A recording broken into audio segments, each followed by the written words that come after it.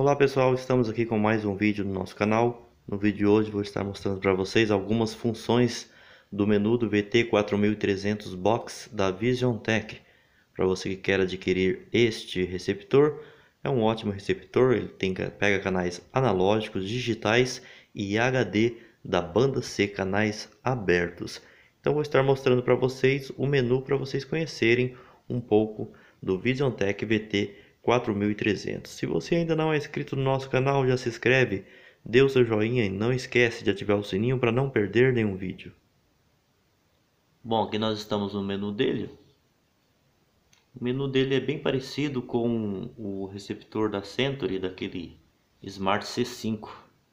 Bem parecido. E também parece também com o do Griatec, o receptor.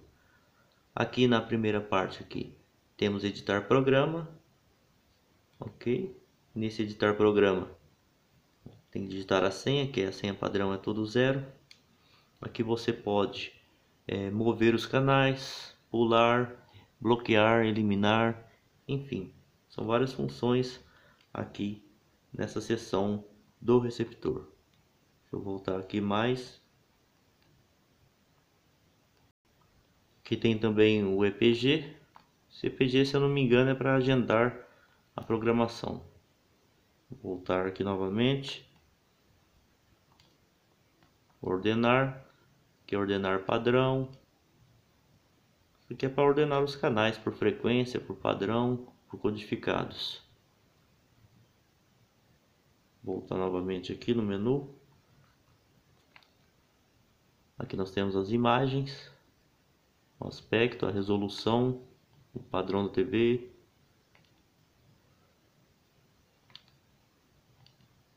aqui o ajuste de antena, né? Você, vai configurar a antena, estar no C2, C3, ele já vem com alguns satélites é, configurados nele aqui, ó. Você pode aqui embaixo adicionar, editar, eliminar. Ele serve tanto para banda C como para banda KU, para canais abertos, é claro, né? Deixa eu ver o que mais que tem aqui. Horário, aqui as opções né, em português, enfim. E aqui o multimídia, onde você vai poder ver fotos, músicas, filmes e as gravações. Até essa parte do menu aqui é bem parecida com o do centro mesmo. Ok?